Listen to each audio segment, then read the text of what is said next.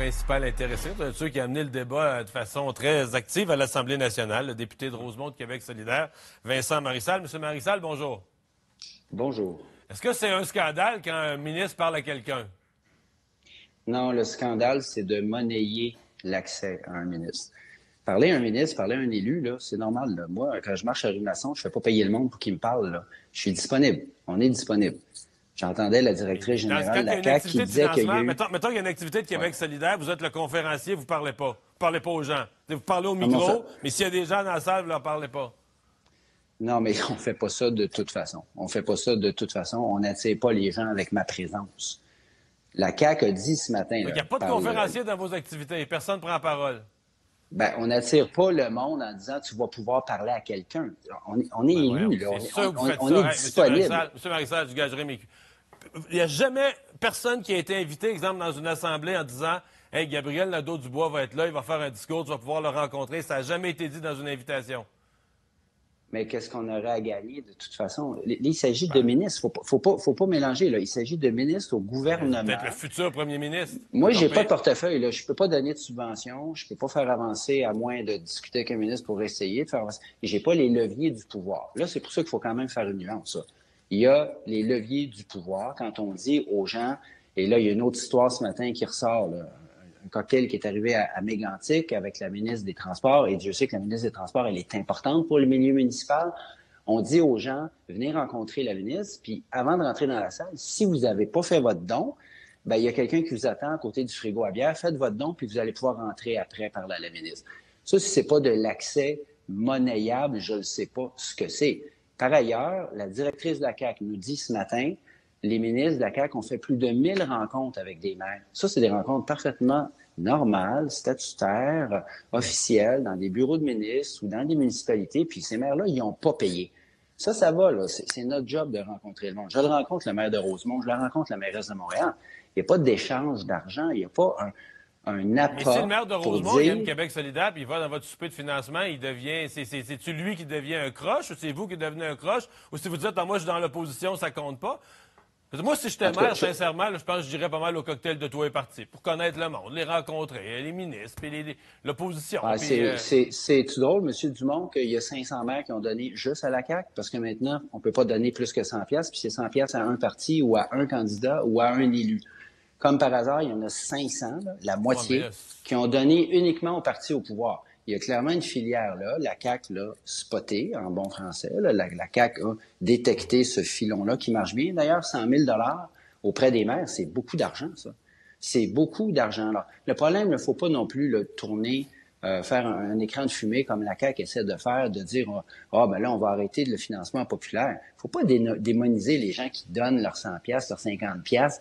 Il y a des militants qui sont pas riches qui donnent 20 pièces. Parce que si si le fait de donner là on pense que tout le monde se fait acheter pour 100 pièces, tout le monde est corrompu, tout ça. Mais non, mais c'est parce que là, on est mieux d'arrêter le financement euh, politique, parce que là, qui, qui peut être là, qui peut y aller comme conférencier?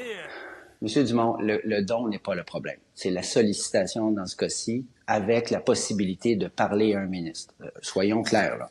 Le problème, il est là. Si quelqu'un qui met bien, bien gros dans Rosemont dit « je veux donner 100 pièces à Marissal », ben, il n'y aura pas d'échange de, de, de, bénéfices, quoi que ce soit. C'est quelqu'un qui croit. Puis si cette personne dit plutôt, moi, je veux donner au PQ, ben, qu'elle donne au PQ. On a eu ces débats-là dans le passé. Il ne faut pas démoniser les gens qui font une contribution volontaire. Mais ici, il y a le mot volontaire, qui est important, qui est dans la loi d'ailleurs. Si les gens sentent, comme les maires le disent, qu'on leur tord le bras, qu'ils se sentent obligés d'y aller, qu'on leur dit, tu sais, ton dossier pourrait avancer plus vite. Dans le cas du député de René Lévesque qui dit, à un entrepreneur, je sais que tu n'es pas d'accord tout le temps avec nos décisions, mais là, tu aurais une très belle occasion de parler à un ministre. Si c'est pas une forme de sollicitation douteuse, je ne sais pas ce que c'est. Mais parce que parler à un ministre, c'est quelque part dans votre affaire, il y a toujours l'idée que parler à un ministre, c'est comme c'est pas correct. Non, c'est qu'il faut que tu payes. ça, te prend, ton ticket d'entrée, comme, comme chez euh, notre député de Mégantic, notre, notre collègue député de Mégantic il y a une salle, Geneviève Guilbeault est dans la salle. Les gens qui n'ont pas payé peuvent pas y aller. C'est contraire à, la rencontre démocratique. Ça veut dire que tu rentres pas dans la salle, paye ton 200 pièces, paye ton 100 pièces, passe go, avance de trois cases, va parler à la ministre. Sinon, tu restes à côté du frigo à bière et tu rentres pas. Je, veux bien, mais si c'est un souper de levée de fonds pour un parti, dire, euh, tu laisses les gens rentrer gratuitement? Non, mais qu'on invite les gens à un cocktail de financement sans laisser entendre que, oh, en passant, tu vas pouvoir rencontrer la ministre. Ça tombe bien parce que tu es maire de ma municipalité, puis la ministre des Transports, c'est elle qui a les leviers du pouvoir pour ta route, pour ton entrée d'autoroute, pour ta voie de contournement, que sais-je encore. Je comprends bien. Parce qu'ils sont ministres. Mais si tu ben rencontres un chef d'opposition, ça peut être aussi parce que tu dis un jour il deviendra premier ministre.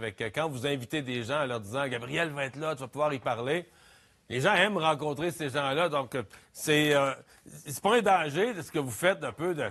Parce que, tu sais, quelque part, ça, discrédite toute la classe politique. Ça laisse entendre que c'est tout du monde, là, que. Donne 100 pièces à son parti, là, puis tu vas l'acheter. Après ça, il va te donner ta subvention. N'importe, il va, tu veux changer la loi, il va changer la loi. Le ministre, même si quelqu'un il parle, là, il n'est pas obligé de faire ce qu'il veut après. Là. Je répète, là, s'il y a quelqu'un qui m'aime bien gros, là, puis qui aime mon parti, puis qui veut me donner 100 pièces, il n'y a aucun retour. Je les invite à le faire. Il n'y en aura pas. Et je les invite à continuer à le faire. C'est un geste citoyen, c'est un beau geste démocratique. Le problème, c'est d'attirer des gens en leur laissant entendre qu'ils vont avoir un accès privilégié. Puis il faut pas confondre classe politique et CAC. Parce qu'en ce moment, là, les gens qui se plaignent le plus de ça, ce sont les maires. C'est ces gens-là qui m'écrivent. Les entrepreneurs qui m'écrivent, je les connais pas. Je ne connais pas, l'entrepreneur de la Côte-du-Nord. de la Côte-Nord. Il, m'a écrit, ces gens-là sont mal à l'aise avec ça. Est-ce qu'on peut les entendre, les écouter? Parce qu'il y a un malaise. Puis d'ailleurs, la CAC l'a reconnu ce matin, il y a des maladresses. Alors, corrigeons les maladresses. Vincent Marissal, merci beaucoup. Au revoir.